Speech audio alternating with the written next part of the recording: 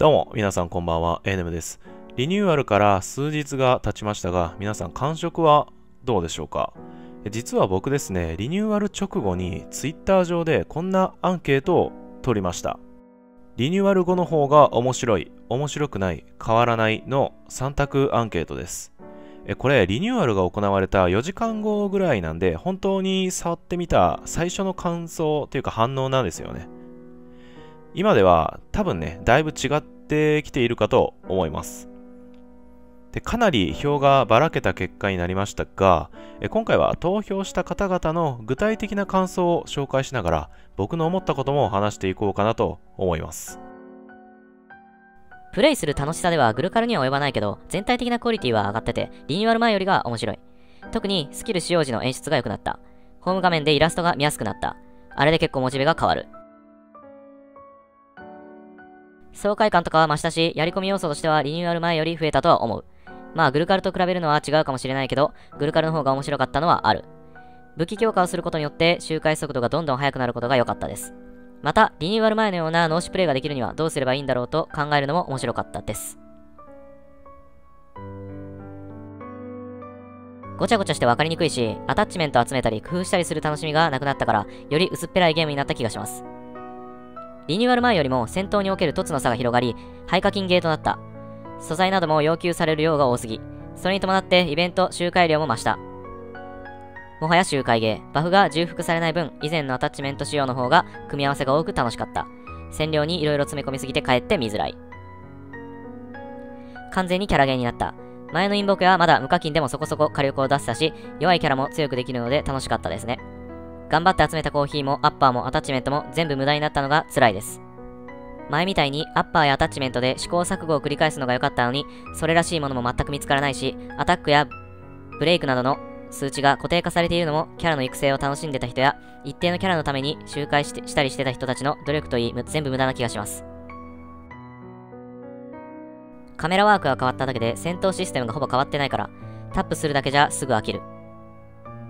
今のインボークは配信当初のような戦略や組み合わせなど、戦略を練ってギリギリの戦いって感じがして面白いと思うところもあります。かっこ駆逐に限る。ただ、新規のユーザーには難しい点が多い。かっこ従来のキャラが手に入らない、派遣など。これから教習も始まっていくので期待しています。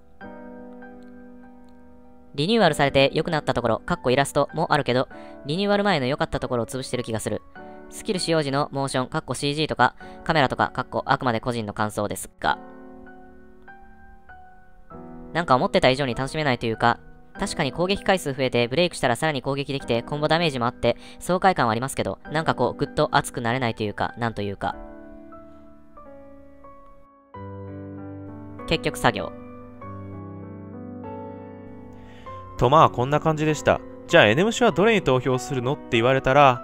まあ多分面白いに投票すると思います。今のところは。面白いと感じた人の意見で多いのは、イラストだったりスキル演出がかっこいいからなんですよ。僕はね、あの、ソシャゲに大事なのは、まあ、80%ぐらいはイラストと、まあ、音楽だと思ってるんですよ。かっこよかったら、あ性能あれでも欲しくなりますもんね。ガチャ回したくなります。それに、やることがあるうちは飽きないんじゃないかと思います。一回まっさらな状態に戻されましたが、えー、キャラクター自身のステータスも一新されたので、いろいろ触りながら育成している今の状況は楽しいと感じています。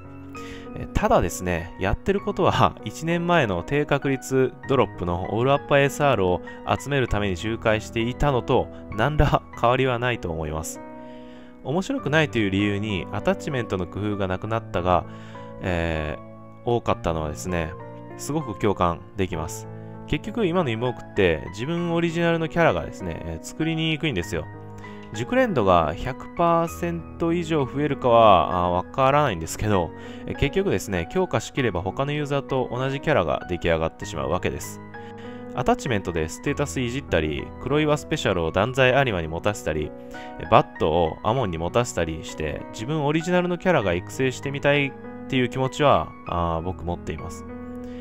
あと、変わらないという意見はですね、あの、そもそも多分タップコンボバトルが合ってない人が多いんじゃないかと、えー、思います。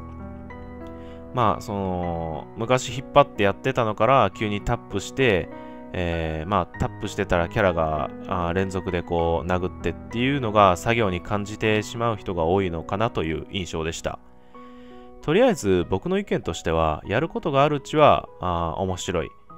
占領戦の画面のですね、あの、情報量がすごく多いじゃないですか。で、あれがまあ分かりにくいかと思いますが、まあ、一回落ち着いてですね、ヘルプを読んでみてください。あの、知りたいことはですね、そこに全て書いています。僕もね、あの、放送とかやってて、かなり聞かれるんですけど、全部ですね、そこのヘルプに書いてるんで、まあ、落ち着いて長いですけど、一回さっと目を通していただければ、あわかると思います。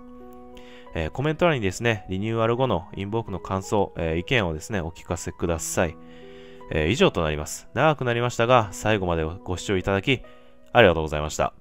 ではまた次回の動画でお会いしましょう。お疲れ様でした。